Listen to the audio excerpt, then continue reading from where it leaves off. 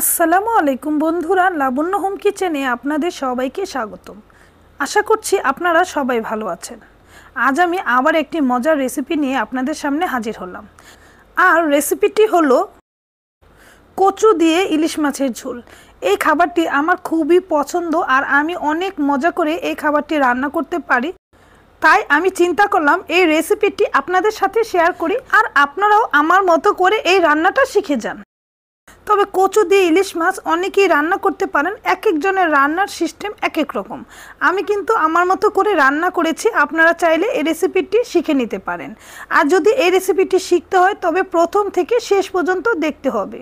আর আমার রেসিপিটি ভালো লেগে থাকলে আরও নতুন নতুন রেসিপি পাওয়ার জন্য আমার এই ভিডিও নিচে একটি লাইক এবং একটি সাবস্ক্রাইব করে দিবেন। চলুন তবে রেসিপিটি শুরু করা যাক। ইলিশ মাছ দিয়ে কচু দিয়ে রান্না করব, এজন্য একটি ইলিশ মাছ নিয়ে নিয়েছি। এই ইলিশ মাছটির ওজন হলো এক কেজি, তবে আপনারা এর চেয়ে ছোট অথবা বড় ইলিশ মাছ দিয়েও এই রেসিপিটি তৈরি করতে পারেন। প্রথমে আমি ইলিশ মাছটা পরিষ্কার করে ধুয়ে এর উপরের আস্তেটা পরিষ্কার করে নিলাম। প্রথমে আমি ইলিশ মাছটা কাটবো না, আগে আমি কচুটা কেটে নিব, তারপরে ইলিশ মাছটা কাটবো। এখানে আমি একটি কচু নিয়ে নিয়েছি, তবে একটি কচু পুরো আমি রান্না করব না। এখান থেকে কিছুটা অংশ নিয়ে আমি রান্না করব। আর এই কচুটাকে আমাদের গ্রামের ভাষায় আমরা নারিকেলি কচু বলে চিনি। এই কচুটায় কিন্তু একদমই গলা ধরে না আর রান্নার পরে খেতে খুবই ভালো লাগে। তাই আমি এই কচু দিয়ে ইলিশ মাছ দিয়ে রান্না করব। এই জন্য প্রথমে কচুটাকে কেটে নিচ্ছি। কচুটা কেটে নেওয়ার জন্য এখান থেকে কচুর যে সামনের অংশটা আছে সেটাই কেটে নিব, মাছ দিয়ে রান্না করার জন্য। আর কচুর যে নিচের অংশটা রয়েছে সেটা ভাজি অথবা ভত্তা করে খেয়ে ফেলব। কচুর সামনের অংশটা ছোট টুকরো করে কেটে নিচ্ছি, উপরের খোসাটা পরিষ্কার করার জন্য। কচুর উপরের খোসাগুলো পরিষ্কার করে নিচ্ছি। আর কচুটা আমি কাটা দেখিয়ে দিচ্ছি। কারণ হলো, আমি টুকরো করে কেটে ফেলার পরে অনেকেই বুঝতে পারবেন না যে আমি কীভাবে কেটেছি। তাই আমি এইটা কাটা দেখিয়ে দিচ্ছি। আর যারা একেবারে নতুন রাঁধুনি, তাদের জন্যই কিন্তু আমি এই কচু কাটার পদ্ধতিটা একটু দেখিয়ে দিচ্ছি। কচুটাকে প্রথমে অর্ধেক করে এটাকে টুকরো টুকরো করে কেটে এবার এটাকেও মাঝে আরেকটি টুকরো করে কেটে নিব যাতে ইলিশ মাছের সাথে রান্না করলে দেখতে সুন্দর লাগে। আর আমি আমার ইচ্ছে মতো কচুটাকে কেটে নিচ্ছি। আর আপনারা চাইলে আপনাদের ইচ্ছে মতো কচুটাকে কেটে নিতে পারেন। আর আমি কিন্তু একটি কচু থেকে ছোট ছোট দুইটি টুকরো নিয়েছি রান্না করার জন্য। একইভাবে আমি যে টুকরোগুলো নিয়েছিলাম সেগুলো কিন্তু কেটে নিয়েছি। কচু কাটার পরে আমি ইলিশ মাছটাকেও কেটে নিয়েছি।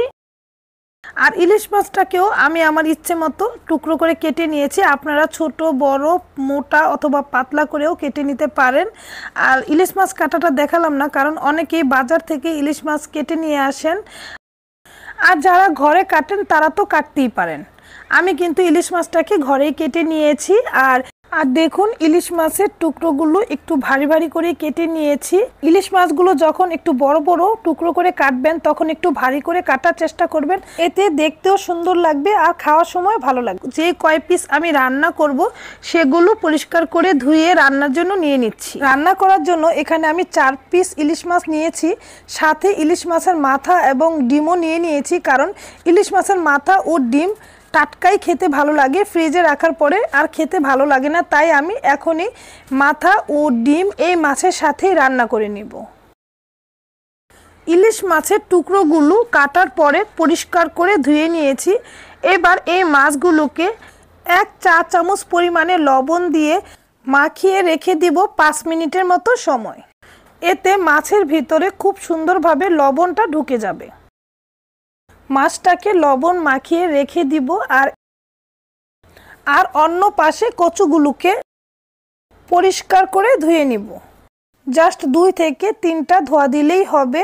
কচুগুলোকে পরিষ্কার করে ধুয়ে এবার কচুগুলোকে সামান্য একটু লবণ দিয়ে হালকা একটু সেদ্ধ করে নিব। জাস্ট একটা বলক আসার আগ পর্যন্ত কচুগুলোকে একটু চুলায় জাল করে নিব। যখন দেখব যে একটা বলক এসে পড়েছে, তখন কিন্তু কচুগুলোকে চুলা থেকে নামিয়ে এর পানিটা ফেলে দিব। কচুগুলো একটা বলক দিয়ে চুলা থেকে নামিয়ে পানি ঝরিয়ে নিয়েছি। দেখুন, কচুগুলো কিন্তু একদমই সেদ্ধ হয়ে নরম হয়ে যায়নি। দেখুন, কচুটা কিন্তু একদমই শক্ত রয়েছে। এইভাবে কচুটাকে হালকা একটি বলক দিয়ে চুলা থেকে নামিয়ে নেবেন। এবার কচু দিয়ে ইলিশ মাছ রান্নার জন্য চলে যাচ্ছি। চুলায় একটি প্যান বসিয়ে এর উপরে চার টেবিল চামচ পরিমাণে তেল দিয়ে দিলাম। তেলটা যখন একটু গরম হয়ে গিয়েছে, তখন এর উপরে হাফ কাপ পরিমাণে পেঁয়াজ কুচি দিয়ে দিলাম। পেঁয়াজ কুচিটা কিছুটা সময় ভেজে এর উপরে এক টেবিল চামচ পরিমাণে রসুন বাটা দিয়ে দিলাম। এবার রসুন বাটাটাকে পেঁয়াজের সাথে খুব ভালোভাবে ভেজে নিব যাতে এর থেকে কাঁচা গন্ধটা চলে যায়। এবার দিয়ে দিলাম পুনে এক টেবিল চামচ পরিমাণে হলুদের গুঁড়া হাফ টেবিল চামচ পরিমাণে মরিচের গুঁড়া হাফ চা চামচ ধনিয়া গুঁড়া হাফ চা চামচ জিরা গুঁড়া। দিয়ে তেলের সাথে মশলাগুলোকে একটু নাড়াচাড়া করে এর উপরে সামান্য পরিমাণে পানি দিয়ে মশলাগুলোকে খুব ভালোভাবে কষিয়ে নেব। দিয়ে দিলাম স্বাদ মতো লবণ। এবার যতক্ষণ না পর্যন্ত মশলার উপরে তেল উঠে যাচ্ছে, ততক্ষণ পর্যন্ত মশলাগুলোকে খুব ভালোভাবে কষিয়ে এবার এর উপরে কচুগুলো দিয়ে দেব মশলার সাথে কষিয়ে নেওয়ার জন্য। কচুগুলোকে আবার মশলার সাথে খুব ভালোভাবে কষিয়ে নিব। কচুগুলোকে কিন্তু খুব ভালোভাবে মশলার সাথে কষিয়ে নেবেন আর যে কোনো তরকারি কষানোর উপরে কিন্তু এর টেস্ট হয়। আমি কিন্তু কচুগুলোকে একটু সময় নিয়ে মশলার সাথে খুব ভালোভাবে কষিয়ে নিয়েছি। যখন আমার কচুগুলো কষানো হয়ে গিয়েছে, তখন এর উপরে দুই কাপ পরিমাণে গরম পানি দিয়ে দিলাম। নাড়াচাড়া করে পানির সাথে কচুগুলোকে খুব ভালোভাবে মিশিয়ে দিলাম। চার পাঁচটা কাঁচামরিচ মাঝখানে চিড়ে দিয়ে দিলাম।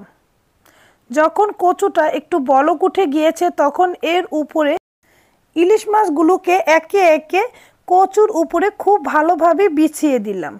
বিছিয়ে দিয়ে আবার একটু নাড়াচাড়া করে দিলাম যাতে কচুর ভিতরে ভিতরে ইলিশ মাছগুলো ঢুকে যায় এবং ইলিশ মাছের ভিতরে যাতে মশলাগুলো খুব ভালোভাবে ঢুকে এবং ইলিশ মাছগুলো খুব ভালোভাবে সেদ্ধ হয়। এবার একটি ঢাকনা দিয়ে ঢেকে চুলা রাসটা মিডিয়াম হিটে রেখে কচু দিয়ে ইলিশ মাছটা রান্না করব। আর অনেকে ইলিশ মাছ ভেজে কচুর সাথে রান্না করে। আমার কাছে ভাজা ছাড়া এইভাবেই ইলিশ মাছ দিয়ে কচু দিয়ে রান্না করলে খেতে খুবই ভালো লাগে আর ইলিশ মাছের কালারটা দেখতেও খুব ভালো লাগে। আমার কিন্তু ইলিশ মাছের তরকারিটা হয়ে এসেছে, তাই আমি এর উপরে আবার কয়েকটা কাঁচামরিচ দিয়ে জাস্ট এক মিনিটের মতো সময় জাল করে নিলাম। ইলিশ মাছ দিয়ে কচু তরকারিটা হয়ে গিয়েছে, একটু ঝোলঝোল থাকা অবস্থায় এই তরকারিটা নামিয়ে নিতে হবে। আমি কিন্তু চুলা থেকে নামিয়ে নিচ্ছি। একটি বাটিতে বেড়ে পরিবেশন করে নিচ্ছি। আর দেখুন, ভাজা ছাড়া যে আমি ইলিশ মাছটা রান্না করেছি, এটা দেখতে কতটা ভালো লাগছে আর এটা খেতেও কিন্তু খুবই ভালো লাগবে। আর আমার এই তরকারিটা রান্নার সময় পুরো বাসা আমার ইলিশ মাছের ঘ্রাণে ভরে গিয়েছে। আর রান্নার পরে এটা কিন্তু আমার সাথে সাথেই খেতে ইচ্ছে করছে, এত সুন্দর ঘ্রাণ। আর এটা খেতে এতটা টেস্টি হয়েছিল আর ইলিশ মাছের তরকারিটা বাটিতে নেওয়ার পরে কিন্তু সাথে সাথে এর উপরে তেল ভেসে উঠেছে। আল্লাহ হাফেজ।